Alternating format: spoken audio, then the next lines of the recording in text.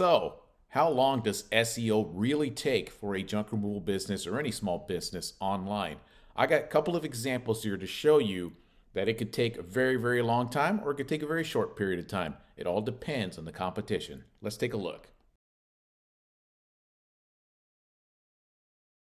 What's up there, guys? Izzy here once again with Do It Yourself Junk Removal SEO, where I help small business owners, junk removal companies, dumpster rental companies, help them design their own SEO optimized website, teach them SEO, and show them how to rank their websites to get found for the business that provide in their particular areas. And today I'm going to discuss a quick, I have two examples to show you how long SEO can take for a junk removal business in this example here. As you probably already know, SEO is a very long term uh, investment in your business. It's designed for the long haul. And on this channel, what I do is I try to teach you guys how to save money and have so that way you could do it all yourself and have to spend hundreds and hundreds and hundreds of dollars or even thousands of dollars monthly for some company to pay for their SEO services.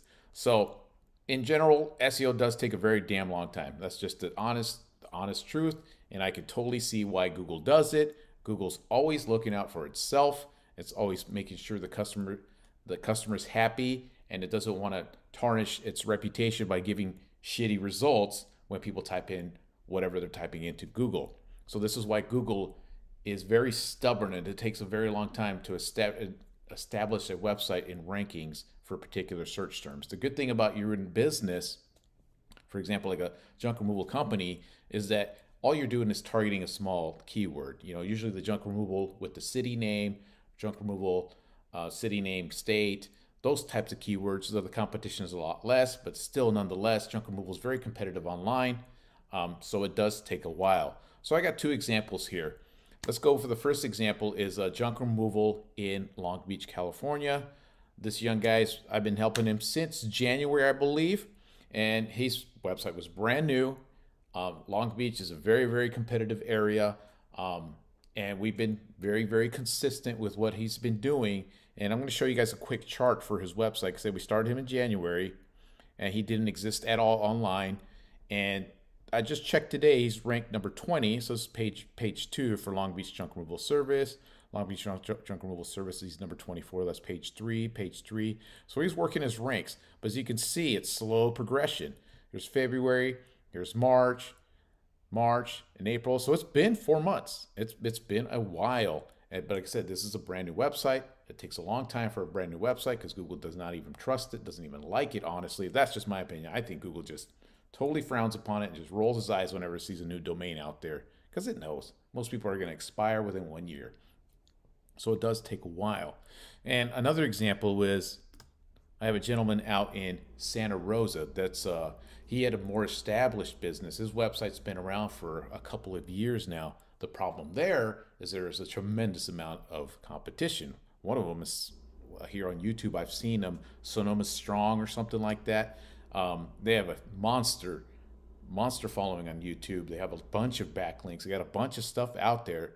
So it's a very, very competitive market. But his business was established a while back. His domain's got some age. So I started doing his SEO, and right away, uh, within a few months, he was already on the first page of Google. And to this day, now he's ranking as number one, two, three, and four for search terms. For example, junk removal somebody in Santa Rosa, sitting in Santa Rosa, type in junk removal in Santa Rosa, you see the two words junk removal. Um, there's that Sonoma Strong. You'll see he's number one there on on this uh, search term. We're still working on his maps.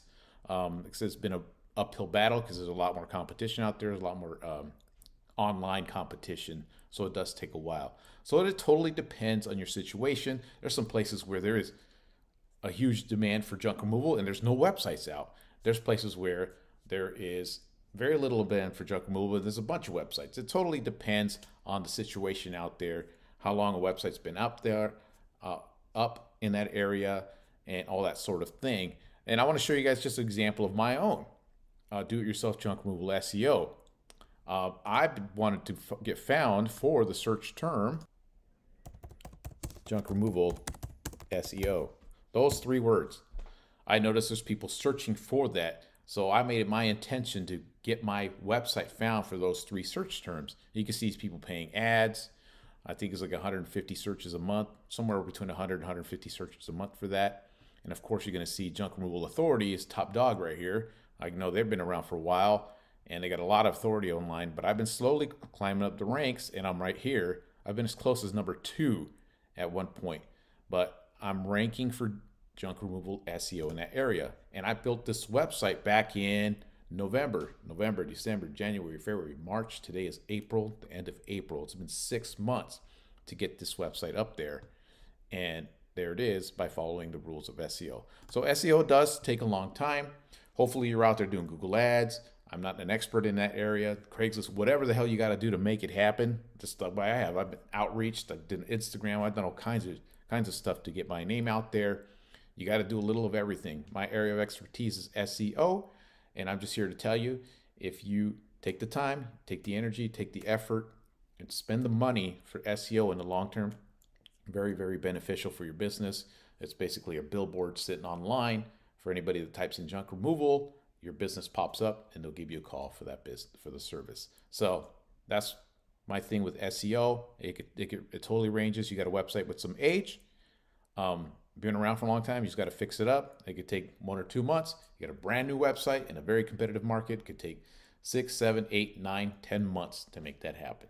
So that's all I got for you guys today. If you guys want to know more about some of the things that I do, some of the services I provide, my do-it-yourself program that I have now set up on my site, where you could show you I show you how to build your website from scratch if you need a new website. I do all the SEO, the SEO process that I follow um, I show you guys how to do that for yourself. It does take money. All SEO takes money, but at least you're going to be saving more money because you're going to be doing a lot of the stuff yourself. Kind of like if I hire somebody to come do my flooring, I'm sure I could do it myself and save a bunch of money.